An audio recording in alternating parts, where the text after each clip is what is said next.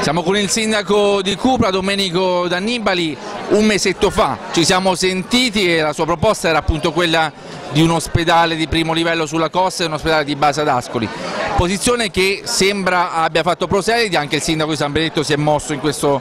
senso e il Presidente della Regione ha confermato che è un'ipotesi fattibile. Ovviamente a questo punto la partita si sposta all'interno della provincia, secondo lei questa posizione può essere maggioranza in vista di una possibile discussione della conferenza dei sindaci? E Ascoli secondo lei come si muoverà su questo piano?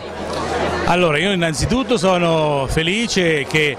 c'è un consenso anche da parte di altri sindaci, innanzitutto siamo riusciti nell'ambito 21 quindi a, ad avere una uniformità di intenti da parte di tutti quanti i sindaci perché capiamo l'importanza di avere una sanità per tutto il territorio indipendentemente dal campanile come qualcuno sta cercando di svendolare. Io penso che a questo punto ci sia la possibilità di riaprire il discorso, quindi c'è anche, adesso abbiamo richiesto una,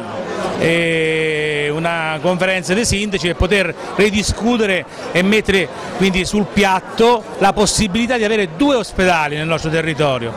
Per quanto riguarda appunto quella domanda che mi state facendo riguardo alla posizione di Ascoli,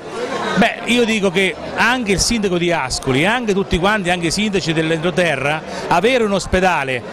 ad Ascoli è anche un qualcosa di importante per loro, però certamente io penso che Castelli sta forzando un pochino la mano cercando di richiedere l'azienda ospedaliera no, Marche Sud. Cioè, su questo possiamo ragionare e se magari c'è la possibilità, perché in Vindeconti